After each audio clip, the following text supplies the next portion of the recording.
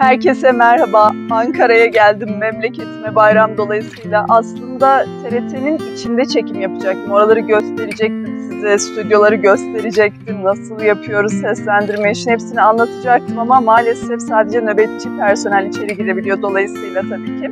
O yüzden şimdi en azından kapısından bir video çekmek istedim. Ana TRT binamız burası. Tabii seslendirme binası daha ayrı çünkü onun içeriği daha geniş. Bir binaya yığılmadı birimler.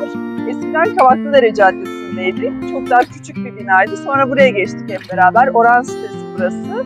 Ve TRT'nin bütün izlediğiniz her şey burada yapılıyor. Bakın orada da alta yazıyor haber, e, Türk, e, TRT Spor, haber kanalı hepsi bir arada. Bu şekilde Ankara'dan sizlere böyle bir TRT manzarası göstermiş olduk. Sorularınız varsa videonun altına yanıtlamak için bekliyorum. Görüşmek üzere.